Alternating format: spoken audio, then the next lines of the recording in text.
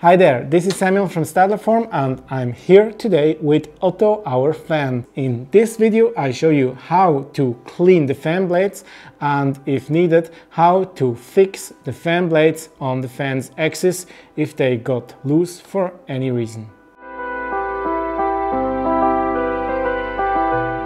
For this you will need a Phillips screwdriver. So now let's get started.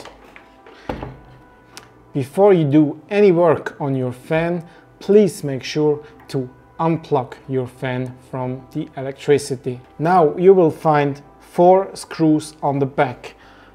In order to get access to the fan blades, you'll need to open up those four screws.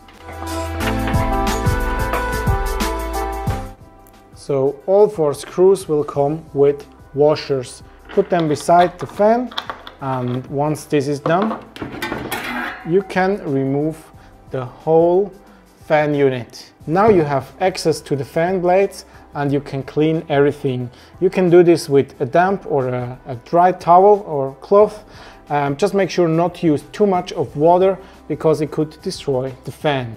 So now if you want to fix the fan blades on the axis, you will need to look for a opening, a hole.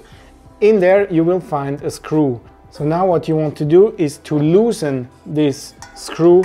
Please make sure not to loosen it too much. If it falls out, it's really difficult to get it back into position. Alright, if it's loose enough, you can then remove the fan blades. And now it's very important to correctly line the things up. You will have a little flat spot on the axis please make sure that you point it to you and then you check where the screw is located.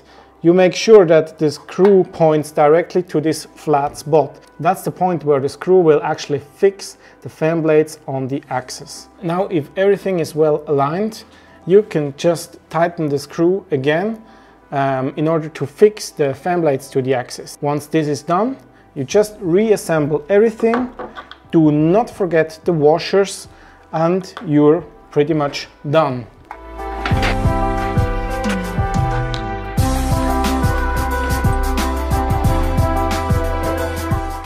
So if your screws are tightened up, you're ready to go again.